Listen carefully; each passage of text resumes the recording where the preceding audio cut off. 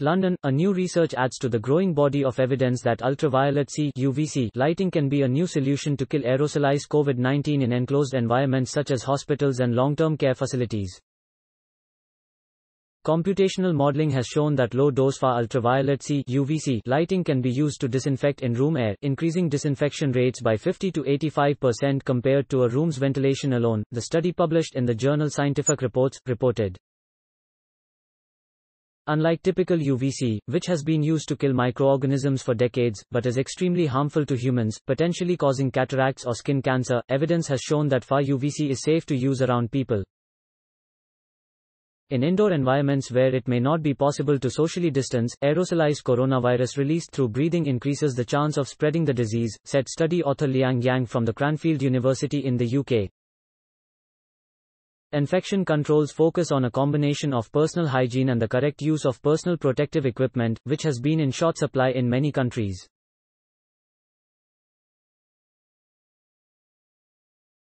This research has shown that far UVC lighting could provide an alternative, safe and inexpensive way to mitigate SARS-CoV-2 transmission.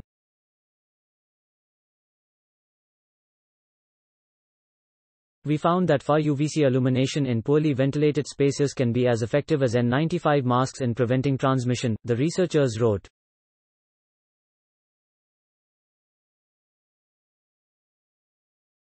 With detailed and accurate computational fluid dynamics modeling, we were able to track and eliminate the airborne transmission of pathogens, they noted.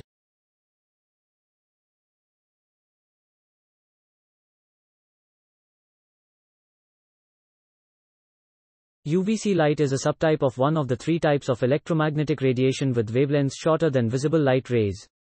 At 100 to 280 nanometers nanometer, UVC has a shorter wavelength than UVA and UVB. Human safe far UVC falls in the 207 to 222 nanometers range and can be produced by special bulbs and lamps and used to disinfect pathogens. Latest comment so, after making demands for mask, sanitizer, oximeter, thermometer, and medicines, now another product is added for marketing.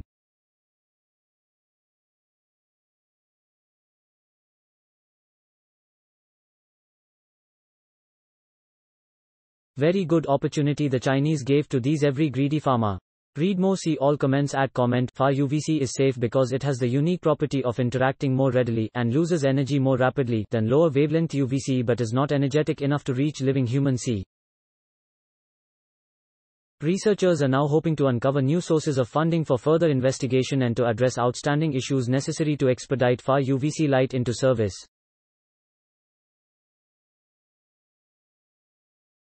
Please support my channel to grow by pressing subscribe button and the bell icon. We notify you new science updates.